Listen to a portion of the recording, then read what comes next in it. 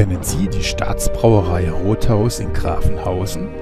Heute war sogar Ministerpräsident Winfried Kretschmann vor Ort.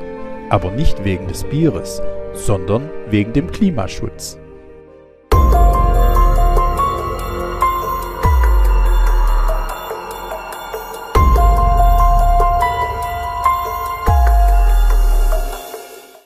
Grafenhausen ein Polizeiaufgebot, Bodyguards in schwarzer Kleidung und fette Autos waren heute auf dem Gelände der Staatsbrauerei Rothaus nicht zu übersehen.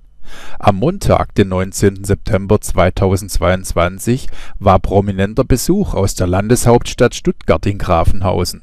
Baden-Württembergs Ministerpräsident Winfried Kretschmann kam allerdings nicht wegen des Bieres in den Schwarzwald, sondern wegen dem Klimaschutz der grüne Landesvater Winfried Kretschmann wollte am Montag mit dabei sein, wenn eine neue Photovoltaikanlage der im Jahre 1791 gegründeten Staatsbrauerei Rothaus in Betrieb genommen wird. Wie mehrere Medien bereits berichteten, wird die auf 1000 Höhenmeter liegende landeseigene Brauerei bis 2030 klimapositiv produzieren ja, richtig gehört, bis 2030. Es soll dann mehr klimaschädliches CO2 kompensiert als verursacht werden.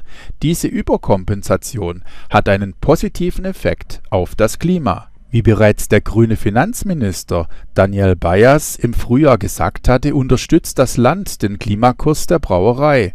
Rund 40 Millionen Euro an Investitionen sind in den kommenden Jahren geplant, die aus eigener Kraft der Brauerei finanziert werden sollen, hieß es. Der Betrag fließt unter anderem für die Photovoltaikanlage mit 9000 Quadratmetern Fläche.